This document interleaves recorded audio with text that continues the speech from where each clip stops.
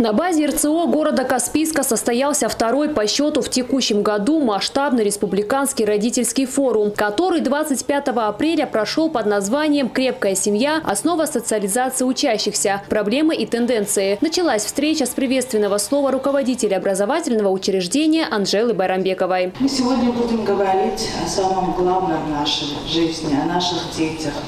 И сегодня в современном мире очень важно, чтобы у нас с вами, у родителей, было правильное понимание того, каким мы хотим видеть будущее наших детей. Почетными гостями мероприятия были председатель Комитета Народного собрания Республики Дагестан по образованию и науке Елена Павлюченко, первый заместитель министра по образованию и науке региона Аида Долгатова, уполномоченный при главе Дагестана по защите семьи, материнства и прав ребенка Марина Ежова и многие другие. Сегодня у нас есть три участника образовательного процесса – это дети, родители и мы, конечно, учителя. Поэтому очень важно, когда мы вместе, и когда мы решаем какие-то общие вопросы и проблемы, вырабатываем нужные для нас такие вот векторы, которым мы, по которым мы должны двигаться. В рамках мероприятия учащиеся РЦО подготовили для гостей творческую программу, традиционные народные танцы, а также песни.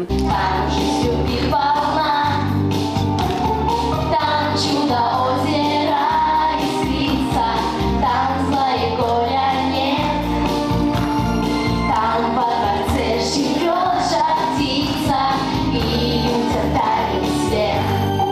торжественного официального открытия состоялось пленарное заседание, где присутствующие обсудили актуальные вопросы. Информационное противодействие экстремизму в молодежной среде, аспекты взаимоотношений обучающихся с родителями и педагогами, роль семьи в формировании общероссийской идентичности и другие насущные темы. Помимо этого, в учебном заведении были развернуты интерактивные площадки для школьников по самым разным направлениям. ИЗО-студия, ковроделие, различные мастер-классы и игры.